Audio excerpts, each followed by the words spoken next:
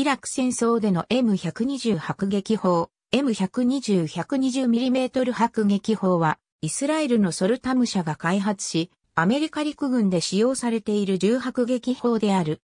イスラエルのソルタムシステムズ製、ソルタム K6-120mm 迫撃砲のライセンス生産品で、1991年に M30-107mm 迫撃砲の後継として正式採用された。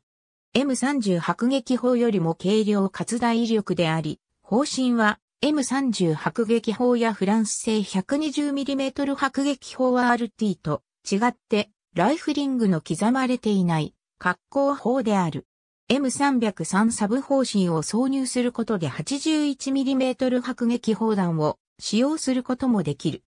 移動時にはトレーラーに搭載してハンビーで牽引するが 120mm 迫撃砲 RT と違って砲本体に車輪が付属していない分、移動と設置の準備にやや時間がかかる。M122 は派生型として車載型の M121 が存在し、M113 走行兵員輸送車をもとにした M1064 とストライカー走行車をもとにした M1129 の2種類の自走迫撃砲が開発されている。